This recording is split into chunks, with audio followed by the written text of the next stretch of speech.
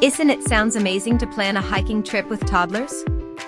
However, before you hit the trail make sure that you are adequately prepared and have a good understanding of how to hike with a toddler. Today, we like to share Parents' Guide to Hiking with Toddlers.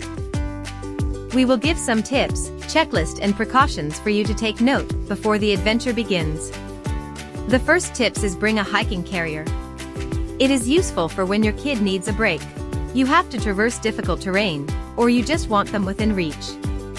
Second, finding toddler-friendly terrain.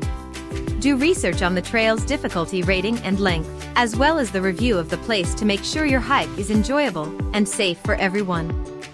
Next is the checklist. These are the list of things you need to pack to be prepared for every situation. First, water. Second, hat.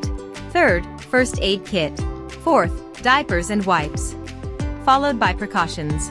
First, always stay within sight. They do make toddler backpacks with a leash if your little one is prone to running off. Second, teach your child that if they ever become lost, stop, don't move from their spot, and blow their whistle until help arrives. Well, there you have it, a complete guide on how to get out and hike with your toddler. Wish you have a wonderful and memorable hiking experience with your toddlers. Like and share if you enjoy this video.